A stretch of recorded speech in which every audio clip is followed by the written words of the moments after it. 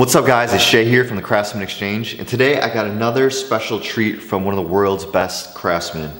Um, we sold one of his knives previously and we got another one. This is actually a 2005 Jerry Fisk Bowie knife. Um, this one right now is perfect shape, no nicks, no scratches, uh, perfect handle, nothing around the edges, just uh, you know, perfect classic look. Uh, if you're looking for something that's just uh, you know, that quintessential Americana Bowie knife, um, a stag, the beautiful staghorn handle. You can even tell like the details of Jerry Fisk here that even the, the piece of stag he used, you can see that it even has the ergonomics, if you will, of the he cut the perfect piece of stag that matches your hand. And you know, if you ever talk to Jerry Fisk, he always talks about the perfect balance in a knife. And when you pick this up, you know, the weight of it, the feel of it, you know, this is uh, a perfectly balanced, all the details that Jerry Fisk is known for in this knife. And,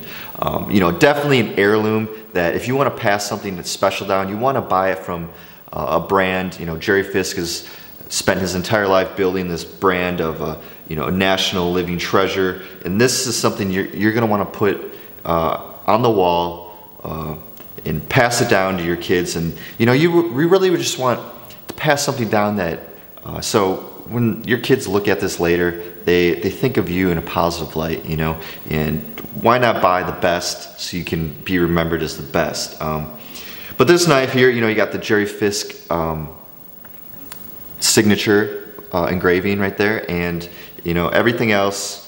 Uh, is absolutely perfect on this knife. Definitely bought by a collector. Uh, definitely, you know, you can either put it on the wall as an heirloom piece, you know, hang it on the wall in your office, in your in your room, or you know, you can wear it for you know, for that that special look. Uh, this knife does come with the original um, uh, owner certificate, and it even has the National Living Treasure in uh, punch press uh, in this paper.